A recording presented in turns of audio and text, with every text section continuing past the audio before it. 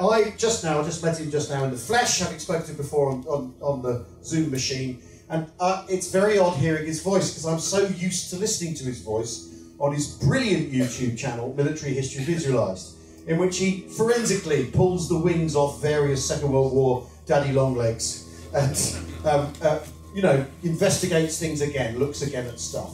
And we're, it's a real treat that he's joined us from Germany. Um, it's Germany, isn't it? Austria. Oh, God, that mistake. I mean, given the period we're talking about, what's the difference? Side? um, uh, Napoleon was from Corsica. Um, the thing is, well, so, he wasn't French either. Right, so what we're going to do, um, uh, please, uh, uh we're going to, they're going to be talking about the best German generals. Oh, that's a good one, isn't it? So please, ladies and gentlemen, welcome to the stage Alex Richie and Bernhard Kast. Here we go.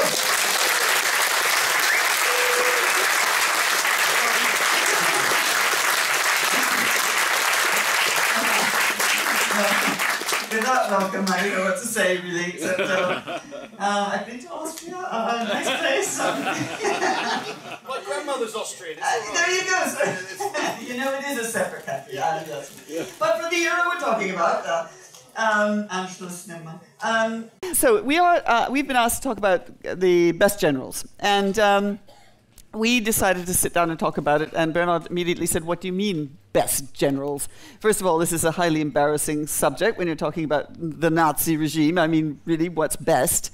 Um, you know, do you mean good tactician, uh, strategy, uh, good planning? Um, you didn't kill too many of your own men. You killed lots of other men. I mean, you know, what what is it? Uh, lack of criminality, highly decorated, highly effective. Um, there, these are the sorts of questions we were sort of arguing about and clearly came up with absolutely no answer. So um, we decided the first thing we'd do is try and figure out what that means. What, what, what are we talking about when we say the word best generals? And uh, I, I very cleverly decided to hand it over to Bernhard and, and, and, and defer to my guest. So basically, what the Germans do now, the pers perspective is Hürter did his study on the German uh, generals in beginning of Barbarossa till summer 1942 and he looked at what they talked about what was most important and he figured out about 90% what they talk in in the in the official talks but also in private letters and everything was about tactical and operational aspects. So basically he fo they focus mainly what for them is important is inflicting the most damage on the enemy while receiving the least amount of losses. Of course if you look at german academics now he basically also states that it's now completely different, they would basically rate them who was the least involved in war crimes. So you have this very different perspective what the Germans generals at this time or officers would see as the most effective or most or best general and nowadays. So very different and some of you might know my video on best generals and you probably ask why is he doing this talk? Yeah, I like a challenge because I have a very different approach.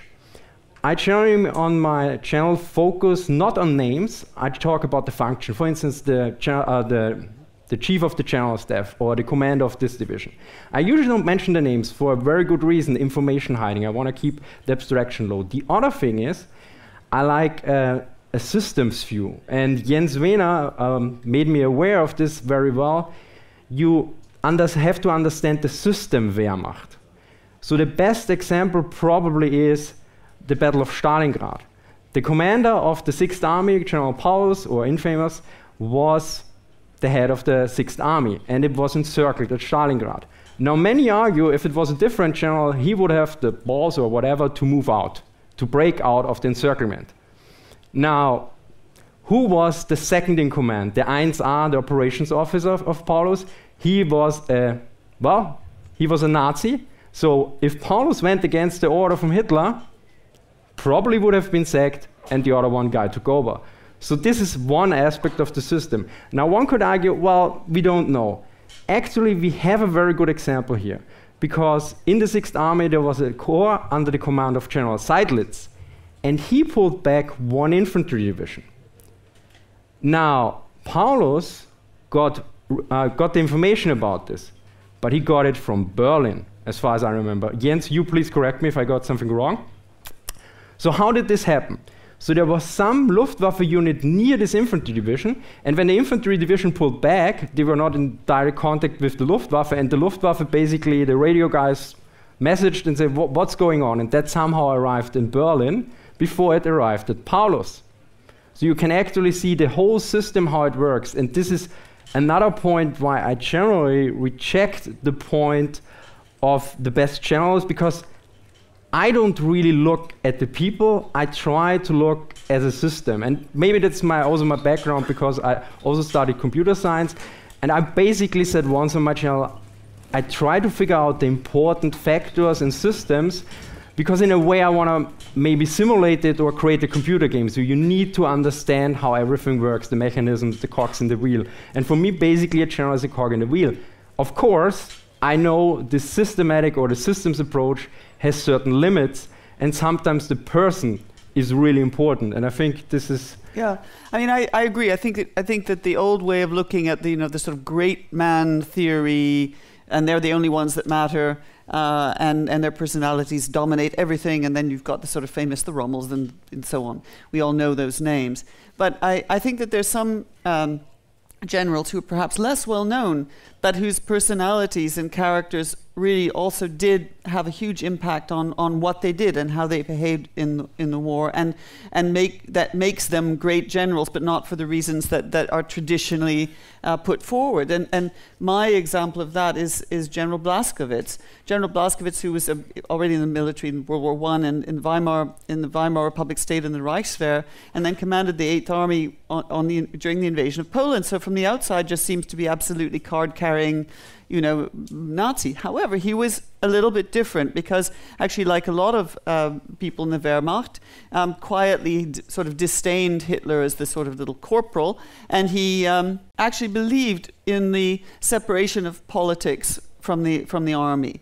Uh, a lot of Wehrmacht generals said that after the war and, and, and, and pretended that they, they believed that too, but they didn't actually act accordingly. But Blaskowitz was different because when they, the Germans invaded Poland, as you all know, they brought in the Einsatzgruppen. They were first invented in Austria, but they, sorry, um, but then they were uh, uh, then they were brought into Poland, and their first task was the really the de- decapitation of Polish intelligentsia in the so-called AB Aktion. So they went around you know, with these lists of people that they wanted to arrest and, and very often shoot and kill. And Blaskowitz saw this and was horrified, and then he saw uh, for example, the mass whipping of about 1,200 people in a small town. He thought this was dreadful. He saw the raping of particularly Jewish women, and he thought this was absolutely awful. And he saw that this was the work really of the SS, and he started to write memoranda to uh, to higher up to officials and saying this is this is just terrible. This is not the way the Wehrmacht uh, should behave. And Walter von Brauchitsch uh, takes one of his memoranda in which he said he wrote about 50 of them, I think, and he he sends one uh, to Brauchitsch, and Brauchitsch sends it to Hitler. And Hitler just you know, purple in the face, eyes bulging, jumping up and down, sort of Hitler fury rage, and says he's uh, naive and this is uncalled for, and he says that he's just basically an employee of the Salvation Army. Um, didn't know that Hitler knew what the Salvation Army was, but nevertheless, um, he's relieved of his command, and he's not. But he's not um, punished. He's not, you know, sent to prison or anything like that. And in fact, as the war goes on, of course, he's not promoted uh, until 1944. And in, in, the end, he ends the war as um, CNC of, of the Netherlands, and he actually signs the document on. Let me just check.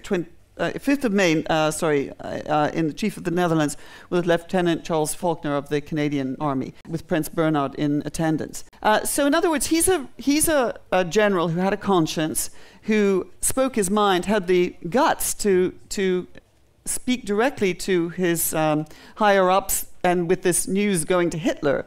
And yet, although he was demoted and he didn't do as well as maybe he, maybe some of his fellow generals, he still ended the war you know, in, in, in command. And so the interesting thing about him is that is, is also his death, because um, the SS hated him because he wrote down names in these memoranda, said these crimes have been committed and so on. And he was uh, indicted at Nuremberg, and he was in going into the officers' trials in 1948. Uh, and he uh, mysteriously committed suicide, i.e., was thrown off or fell off the high balcony inside the Nuremberg court, for any of you who've been there, uh, into the court, courtyard, internal courtyard. And there was always suspicion that perhaps he had been uh, murdered by the SS, who, who despised him, because um, he, he actually was going to be acquitted. He was not charged with anything, and even uh, after his death, his, his sentences were, were quashed. So he's a very, very interesting, very complex figure. Uh, and I think I, I count him as one of, if you will, one of Hitler's great generals because of those layers of complexity, because he had the courage uh, to stand up against, uh, effectively against Hitler and the SS crimes. So, uh, one of the things that's interesting about him, though, is that he did not write an autobiography for obvious reasons. I mean, he wasn't around anymore. And, uh, and so very few people have heard of him. And it's one of the things that Bernhard and I were talking about was, well, how do we know if there are great generals? And one of the ways that we know about them is because the ones that we have heard about have very often written about themselves in glowing terms. And Bernhard has a few things to say about that. So we have a German proverb, and it's "Wer schreibt, der bleibt." Who writes stays. And you can. Uh, I made on my video on the best generals. I made a social experiment. I said in the very beginning, please write in the comments which general you think is the best one. And lots of the names are Guderian, Manstein, and Balck. All of them have written autobiographies. One exception is Rommel, and we come to him later. But generally, you see that, yeah, if there was a book about it, and it's a good title, for instance, if you look at Guderian, English title Panzer Leader, really good marketing title. German title Erinnerungen eines Soldaten, Memoirs of a Soldier. So typical German, not that good on marketing, but it's still, still sold well. And if you look at particularly Guderian, I think the recent research from Pöhlmann and others not, has not been translated yet in English. And if you look at Kursk, for the Battle of Kursk, Guderian mentions, oh, I tried to convince Hitler that's a bad idea and everything else. There's just one major problem. According to Pöhlmann, he found no evidence that Guderian was opposed to Kursk, to the Battle of Kursk or Operation Citadelle at that point. He finds minor discussion on tactical and other issues, but he has no there's no nothing in the documents that clearly states Guderian was against it. Now one could say, okay, Pöhlmann is maybe biased against Guderian, but he makes also the point that actually at this point, because it was in spring 1943, that Guderian got back on the stage because he was sacked in winter 1941-42, and he became the general inspector of the Panzertruppen. And so, actually, at that point, when he comes back into power and fray, everything is already in preparation. So, actually, he making this point in his biography doesn't make too much sense because he could just wrote, "Well, I, I was too late for that." So, this also seems quite interesting. There might be something in the documents we haven't found yet because this always happens that something new turns up. But as far as we know, nothing hints to that. And there are other ma major problems with Guderian's biography as well. So the same is like with Manstein with his lost victories, verlorene Siege. And this is, I think, where I give over to you again about the whole business of the historical division and what the German generals did after the war. Well, well, speaking of titles, lost victories is a is a yeah. classic. You know, we won, but we well we didn't really. Well, we sort of won. Actually, we would have won if it wasn't for Hitler because we were really good. And uh, and yes, Manstein I think is the is the is the doyen of uh, rewriting history. But this all these myths. Uh, of the of the good Wehrmacht and, and of these generals, some of whom we've mentioned, really begin actually already at the Nuremberg trials, where you have a situation where um, Franz Halder and other Wehrmacht uh, leaders um, start, you know, really petitioning to clean up the name of the of the Wehrmacht. Now, the Wehrmacht have been involved in. They're, not the SS, but they've been involved in either bystanders or participating, or, or things like the, the mass murder of Soviet prisoners of war, uh, 3.2 million or whatever the number final number is, uh, who were murdered. And this was a Wehrmacht crime. A lot of the crimes committed going into Poland were, were absolute Wehrmacht crimes, had nothing to do with the SS, despite Blaskowitz's. Uh, um, uh, statements and so on. And so um, uh, the trials that are held in Nuremberg already begin this, uh, this attempt at rehabilitation, particularly un under Franz Halder. And they, the, the, Franz Halder and other leaders get together and they write this, this memorandum of the German generals from 1920 to 1945. It's basically kind of a whole re whitewashing, rewriting the history of, of, the, of, the, of the Wehrmacht, which is extraordinary. And the whole idea behind it is to exculpate um, uh, Wehrmacht crimes. And, and this carries on in, in West Germany as the Cold War uh, heats up. And all of a sudden, it, it, becomes very clear to the West that we want a strong West Germany. Obviously, Germany is not going to be unified. The Soviet Union's now our great threat. Uh, and these military guys might be quite useful. One of the turning points is the Korean War, when all of a sudden, you know, Adenauer and others, and of course the Americans and the Brits, start saying, well, you know, actually, we, we really need, need to create a Bundeswehr, a West German army. And who can we look to? Well, we can look to these uh, Wehrmacht guys, oops, Wehrmacht guys committed crimes. No, no, they didn't, because we've got all this proof that that that's absolutely untrue. 1950, uh, West German Chancellor Konrad Adenauer met at a place called um, Abbey with former officers, and they created the Himmerod Memorandum, in which he they outline what has to happen to clean up the Wehrmacht so that all these generals and, and other officers and so on can actually function in the Bundeswehr without any problems whatsoever. So, one of the things they say is that you have to uh, cease for the, the uh, uh, defamation of the German soldier must cease and foreign public uh, opinion of the Wehrmacht must be transformed um, and war criminals must be released for example and all these other stipulations Americans particularly under Eisenhower thought this was absolutely fine formally of course he'd seen the Wehrmacht as Nazis a sort of blanket uh, term that he used to describe them. If you're talking, if you read what he says in 1945, for example. But by 1950, everything's changed, and Eisenhower is very much you know, with uh, Adenauer on this to try and re- recreate this uh, this new path. And for example, we British um, also very much said, okay, we're going to stop uh, the, the war crimes trials. That's that's not going to happen any any longer. Then uh, the uh, the next state, stage was that well, there was something called the Hankey lobby in Britain, which was also very much behind this. People like Winston Churchill and and uh, Liddell Hart and and uh, others started to to really lobby to to change, and and some of the German generals who who um, were were going to be imprisoned or were under investigation were were lobbied by people like Churchill, in fact, who said no, no, no, they weren't so bad.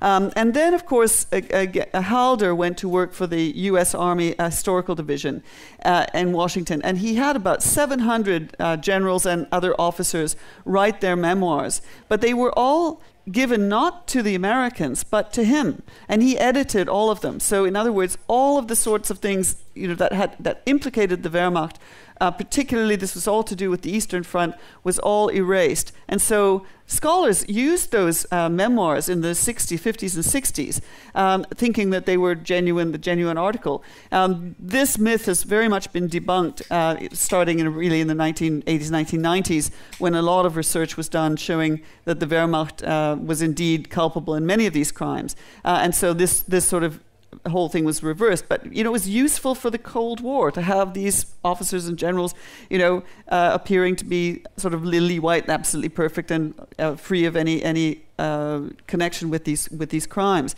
Um, the real turning point, I suppose, was finally in 1995 when when some historians and the, the Hamburg Institute for Social Research uh, produced uh, an exhibition and and um, documentation showing, uh, for example, graphic photographs of about 1,200 Wehrmacht crimes and, and other things, which, which, which really started to change people's, people's minds. But nevertheless, it, it's taken a very long time, and this is one of the reasons that some of the generals, whose names you can all probably list, um, and who's, who, who were in many cases um, glorified in the West after the war, are now coming into question, and their actual careers are being questioned uh, much more. And I think that um, you had a certain general in mind uh, that you wanted to talk about. So, I mean, we're in Great Britain, so we kind of have to talk about Erwin Rommel. So, probably I, I, make the distinction between Erwin Rommel and the Desert Fox. I think the Desert Fox is the myth that everyone wants, and there's Erwin Rommel. And I think we know a lot about the Desert Fox, or we think to know a lot, and we know very less about Erwin Rommel. Now, if you look at the initial initial point of military effectiveness by the Germans, they said, okay, the most amount of damage to the enemy, but the least amount of losses. Now, if we look when Rommel in the Second World War first takes command, it's of the 7th Panzer Division, also sometimes called Ghost Division, in the Battle of France. And one German military historian Colonel Gross, and he made the point that Rommel led his division like a company. Now, to put this in perspective, a company is about 150 to 250 people. A panzer division at that point is at least 10,000 people or more to between 10 to 15,000, depending if some units are attached or not. So you see quite a difference. Of course, one could say Colonel Gross never was in a war involved, so maybe maybe this is just bad mouthing or something else.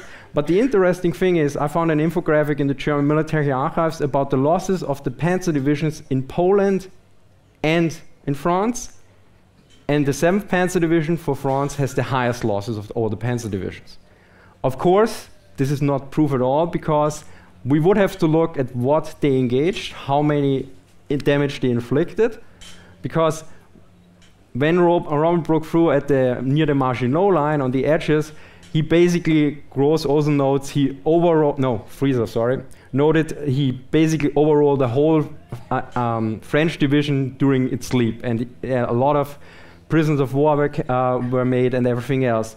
The other thing is, of course, as you might know, there was the counterattack by the British forces at Arras, and they also faced the Matilda II tank, which was pretty strong and could could not basically destroyed by German tanks. So they had usually bring in the 88 millimeter gun or engineers or something else. So it was quite complicated. So we would have to look closer if these losses that are the highest for the 7th Panzer Division were maybe because Rommel led the wrong way or because he faced major opposition or achieved more. So that is one way where we could look at this. Now, the other question with Rommel is because he's generally portrayed as this non political and very clean general which to a certain degree is correct, but once you just look a little bit, you realize what was Rommel doing in the beginning of the war and before the war. He was assigned to the bodyguard detachment of Hitler. Now some will go, wait, because I got a comment on the on YouTube once, but Hitler, uh, but Rommel was never in the SS, and the SS was there to protect Hitler. Well, Hitler was the chancellor, he was the commander and everything else. So there were several bodyguard detachments all over the place, and some became later units in the war and everything. So it's quite complicated. So Rommel was in, in charge of the army detachment or Wehrmacht detachment that protected him. And why is this important? Well, Rommel in the First World War was a very successful infantry commander, and he received the Pour le Mérite, the highest Prussian um, mi military uh, order. And so he was already famous. But he was with the mountain troops. And then he gets in command of a panzer division, of which the Germans had around 10 at that point. Well, maybe something happened with Hitler because Hitler was very fond of Rommel and Rommel was very fond of Hitler. This, of course, also to a certain degree explains some of the bad mouthing Rommel receives from the other German generals because they're envious. But you already see the problem here a lot of very different people that note, ah, Rommel it was bad, he had no idea about logistics. I think Peter Lieb made the point that I think Halder stated this, or Brauchitsch, and then he said, well, but Halder and Brauchitsch were not particularly good on logistics either. So it gets always complicated, and the question is, which I ask in my video, is there generally enough information available on all this? Can we make this judgment? And look at all the information that is out there. And this is my general problem because if you look at the Wehrmacht, when I started my channel in 2016, I assumed the Wehrmacht is well well researched and well I found out over the years that usually when I start talking to German military historians like Jens or Chris, then we have more questions after we do a talk on video than we had before. There's one when we talked about I think Beutewaffen, so captured weapons, and if you look at there's no academic study or I think any study on how the Germans actually used captured weapons. What was the concept? We know they used them, but what was, was it from the top? Was it bottom up? Was it something in between? I found some tidbits now in the archives and somewhere else, but there's no real study on this. Meanwhile, you see plenty of books on Beutepanzer, Beutewaffen, and everything else.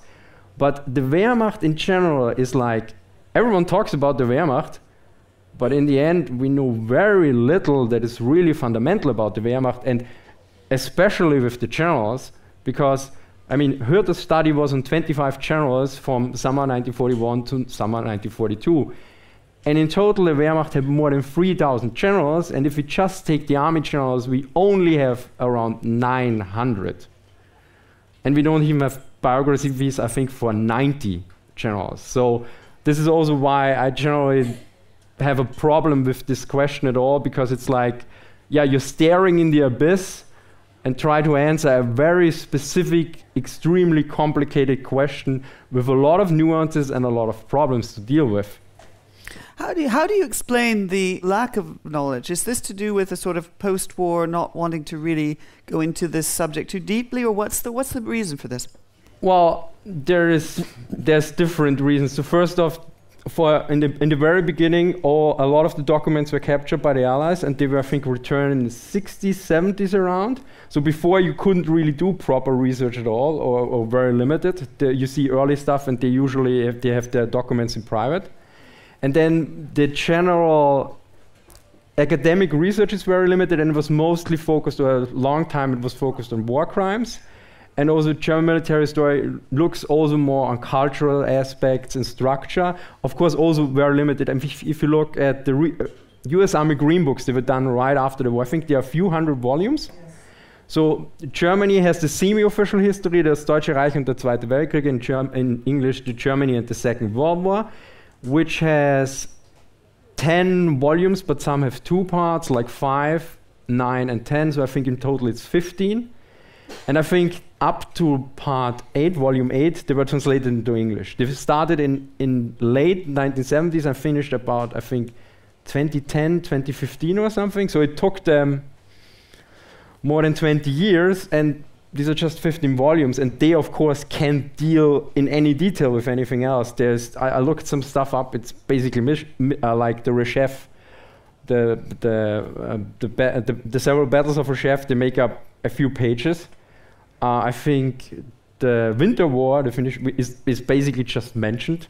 So and and of course, when they were finished, everything was outdated from the very first volumes already because it started in the early uh, in the late 70s and then there was of course the short uh, the, the russian archives were open for a short time and also to a certain degree the, if you do too much military stuff in germany and austria and not enough on the war crime side or you you get some suspicious looks generally and it's it's a bit problematic so this is also and and then there's I mean there's generally the point. For instance, there's almost no operational history.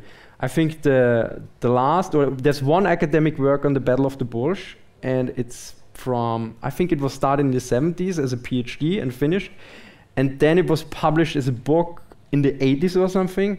So this is the Battle of the Bulge, and for instance, it's particularly interesting if you look at D-Day. There is Peter Lieb did one popular work and one, one really in-depth study. And I think there are two or three more, but that's it. And if you look at D-Day on the American or British side, yeah. you, you, you look... a second mountain, yeah. yeah. An overwhelming amount of books. So yeah. in some cases we have... I guess there are some speakers here who wrote, wrote more books on D-Day than the German academics wrote on D-Day together. so do uh, do German and Austrian scholars use the English works, or is there just not that much interest? Uh, I didn't look too much at the biographies. I think Peter Lieb uh, certainly did. He, I think he, he was a lecturer at Sandhurst, but I remember, for instance, that I think Glantz was, which he's the American expert on the Eastern Front didn't show up too much in some of the books. It, it, depends also of the author on the generation and everything else. There's also some shift happening because you look at certain new works and you see suddenly, okay, the more or less this, the, the predecessor in the same in the same uh, institute or something. So there's also the the generational shift. One one historian told me, so what is your age? I said, yeah, I'm around 40. I said, yeah, like me. And then he said, we are the first generation that was not directly connected to the war. The first generation where they were directly involved in the war, and the second generation where the fathers was on, um, were in the war. And for us, it's the grandfathers, so we have enough distance already, then we can have a bit of a more relaxed look at the mm. whole aspects. Yeah. So you think that the interest is going to grow over the years, rather? Well, I think officially now the the main research for military history is done by the Bundeswehr, by the ZMS, previously the MGFA. And I think they moved on from the Second World War and go now more po- uh, into the Cold War and Afghanistan and Mhm. everything else. So mm, Not so much. it's it's not looking very pretty. I mean, Chris and I try to stem the tide a bit, but So we were talking earlier about about the great generals, but the difference between the way in which the generals who functioned in the East were seen as as opposed to those who functioned in the West, or those who who were in both places. What can you say about that and that dynamism, or the way in which they're interpreted? I mean, it was generally the, the, the viewpoint, at least from some of the Eastern Front, that the Eastern Front, I mean, this was always the main area of, of the German army. Everything else was a Nebenkriegsschauplatz, a, a sideshow, basically. So there was Africa was a sideshow, there was the Western Front as a sideshow. And there's actually, I found one, in one document very interesting, there were some volunteers from the Eastern Front that went to Africa and and and the the people from the Africa Corps complained like they thought this would be like holiday or something, and and actually they're having real troubles now. But they but they stated probably these tries tried to escape from the Eastern Front in a way and thought it would be really nice. And the, the other major difference is in shortly after the invasion in Normandy, one general was sent over because Rommel and the others were writing reports and they were all very negative and they were and then the, the German High Command and others said, ah yeah, you're defeatist, a defeatist, or I, I sorry I don't know the word exactly, and you're all negative and, and pessimistic. Let's send somebody from the Eastern Front there. So this general shows up and the first thing he wants to do is take his uh, biplane or his Storch, it's not, not a biplane, take his plane to the front line like he does on the Eastern Front. And then people tell him, that's not a good idea. You know, there's air supremacy here in a way. And then he reluctantly agrees and he takes his car. And I think it takes him a half a day or something because he constantly gets attacked by fighter bombers, even in his car. And then he, it, he really has like the epiphany okay, this is really very different. And Rommel warned them about this before. But Rommel was also, for instance, if you look at Rommel, he was like about Italy, he was very pessimistic. And then I think Kesselring basically then showed, okay, actually we can hold way longer than we thought. So there's always the, these different opinions and assessments, and one has to look really close because it's it's sometimes hard to tell. And I think this is what it comes down to the end. It's complicated, and this is probably why you invited some Germans and Austrians over here. You talked a bit about uh, Guderian, about Manstein.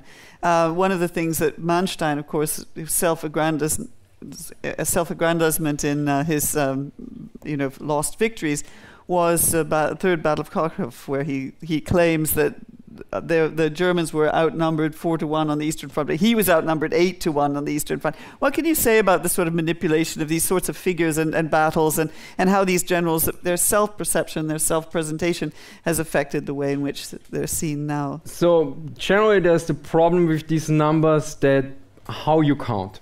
For instance, um, Wettstein, who is the German or Swiss expert on, on urban combat of the Wehrmacht, he looked at the numbers for Stalingrad and the numbers from Glantz, and he noted Glantz, uh, Glantz puts down the numbers from the German divisions. Oh no, no, writes them up basically because he assumes they're the full strength, which was generally not the case. The other thing is if you compare them, Soviet divisions generally had a lot of their logistics outside. They were not organic to the divisions. Meanwhile, the German divisions usually had their logistics organically. And then you, you have the, the army general troops, I think they're called in English, the Heerestruppen, which are sometimes not counted or differently. So comparing these numbers is pretty hard. From what I know from military intelligence, the Germans had a very good picture on the tactical level, so what, what divisions they were facing. But once it got like 10 or 20 kilometers behind the front lines, just question marks, because then the military intelligence was really yeah, Fremde Heere Ost, Foreign Armies East, wa was not very effective in this way. So the numbers could be correct, they could be incorrect. Then there's also the aspect of, of putting a Schwerpunkt or temporarily. Like, for instance, the Luftwaffe on the Eastern Front, generally mentioned, uh, um, was able, even in 1945, sometimes to achieve temporary air superiority, just for a few hours or something. On the Western Front, this was generally not possible at that point or at all. And you could also say, yeah, well, the, if the spearheads from the Soviets came in at one point, and what part do you look at the front line? Maybe it's true if you look at the front line when the Soviets all lined up, the Red Army, to break through, and the Germans haven't moved the troops into counter for a counterattack or prepared something. So it could be true. Again, it's complicated, and one had to look at the, at the Soviet documents and the German documents. But one problem is also if you look at the uh, uh, German losses and their assessment, they know that even their own loss statistics are incorrect to a certain degree, and not intentionally. They are like, we're missing a few people. This is why um, Overmans did a study on this and, and tried to find it out with statistical methods. And you have the same also with, with, with Soviet sources. For instance, there's also the problem, like some people say everyone lies in the sources, but I think there was one, one study on partisan warfare.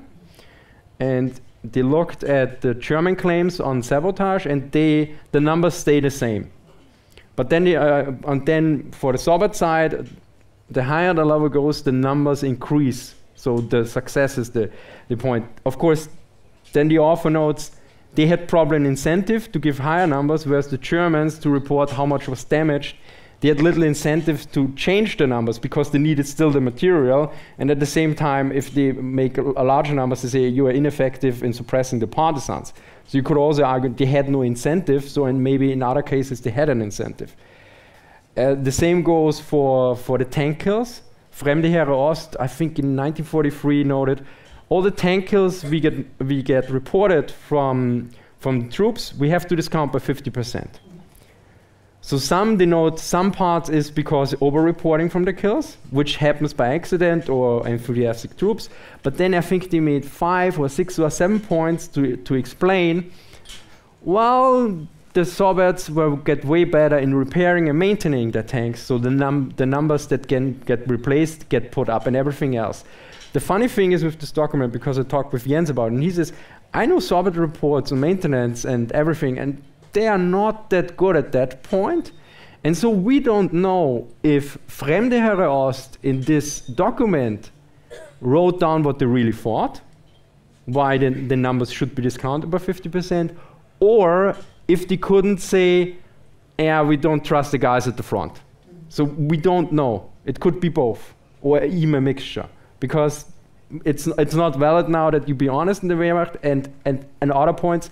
Whereas I think it was Williamson Murray, and he noted, for instance, for Poland, but that was still a different time, that the German army was very critical about the performance in Poland, and he made, I think, remarks to his service later in the U.S. Army, I think, a post-war, and he said, there was the, it's common, the higher the report gets, the more the more flavor or the more nice it gets, whereas he doesn't see this in the German reports. But that was for Poland, and I haven't read the reports myself, so I can only stand by his word by now.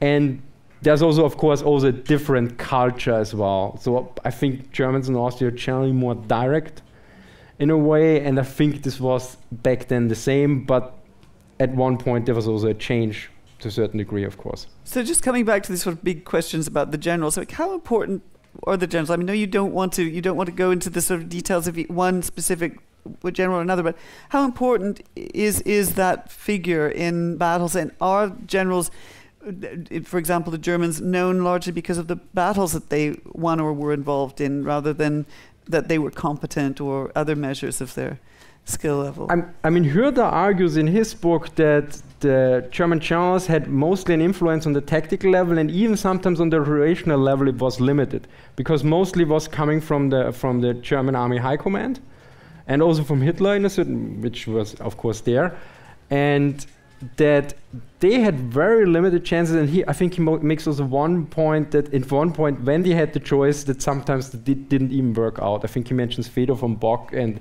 and the offensive against Moscow and I think it really depends on what you look. If you look at the history of a corps, then of course the corps commander is really important.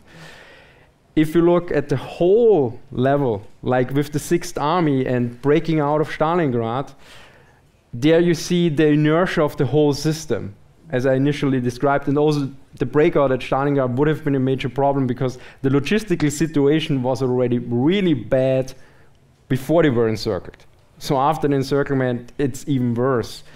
So from what Hürter wrote, it, it looked like mostly their influence was very limited and they were basically reduced to technicians.